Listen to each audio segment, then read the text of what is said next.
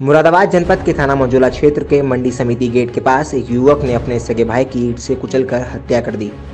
हत्या की खबर क्षेत्र में जैसे ही फैली तो अफरा तफरी का माहौल बन गया। मौके पर पहुँची पुलिस, मृतक का नाम संजीव बता रही है, वहीं आरोपी का नाम विनेश है। हत्या के पीछे का कारण स्पष्ट नहीं हो पाया है। मृतक की माँ का रो रो कर बुरा हाल है। हत्या के बाद आरोपी भागने की कोशिश कर रहा था, तभी क्षेत्र के लोगों ने उसे रस्सी की मदद से बांधा और पुलिस के पहुँचने के बाद उसे पुलिस को सौंप दिया।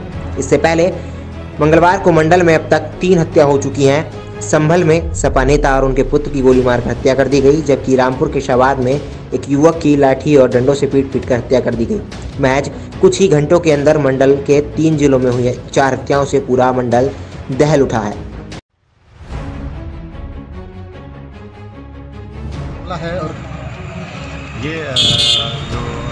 इनका नाम है।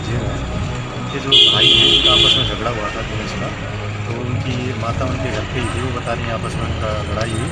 और जो इनके बड़े भाई हैं उन्होंने उनको ईट से मारा था जिनसे उनकी मृत्यु हुई। तो सर वो अब पकड़े गए हैं क्या इनके भाई? वो अभी भागे हुए हैं। अभी जल्दी उनको पकड़ लिया जाएगा। सर प्रथम दृष्टिया क्या लगता है प्रथम दृष्टिया उनकी माता जी ने जो बताया उनकी आपस में किसी बात को लेकर उनका आपस में विवाद हुआ जिससे उनके जो बड़े भाई हैं उन्होंने उनको ईंट से मारा जिससे उनकी मृत्यु हुई है।